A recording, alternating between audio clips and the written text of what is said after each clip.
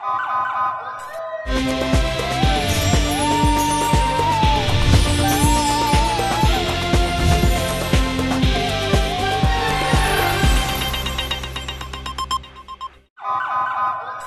پہلے نظر ڈالتے ہیں اب تک کی بلٹن جی بالکل گجرانوالہ سے خبر شامل کرتے ہیں۔ گجرانوالہ بھگوان پورہ کے علاقہ سے پندرہ روز قبل اغوا ہونے والے تاجر کام اسٹیل کے مالک شاہد عزیز کی لاش ماسٹر سٹی کے ایک زیر تعمیر گھر سے برآمد۔ شاہد عزیز کو اس کی بھابھی نے دو دوستوں کے ساتھ مل کر قتل کروانے کے بعد لاش زیر تعمیر گھر میں دفن کر دیا تھا۔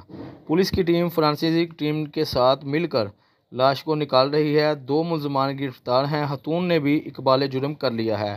اگلا ٹارگٹ اس کا اپنا خاون تھا۔